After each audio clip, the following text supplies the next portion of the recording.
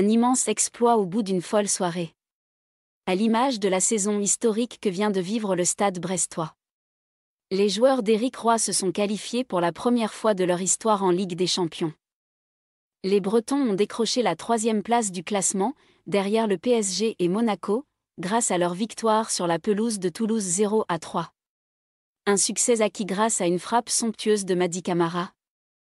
Un queffrant inattendu de Jordan Amavi, prêté par l'OM, qui n'avait joué qu'une seule minute cette saison la semaine passée contre Reims et un but de Kenny Lala.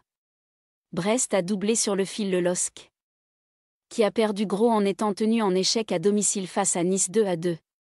Après avoir mené 2 à 1 à un quart d'heure de la fin grâce à une tête rageuse de Benjamin André, les Lillois se sont fait rejoindre dans le temps additionnel sur un but de Jordan Lotomba 90 plus 3.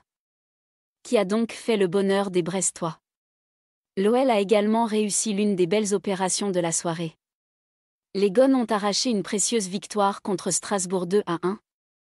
Grâce à un pénalty d'Alexandre Lacazette au bout du Money Time 90 plus 6 un succès qui permet aux Lyonnais de terminer sixième et d'être assurés de disputer la prochaine Ligue Europa grâce à leur qualification en finale de la Coupe de France contre le PSG.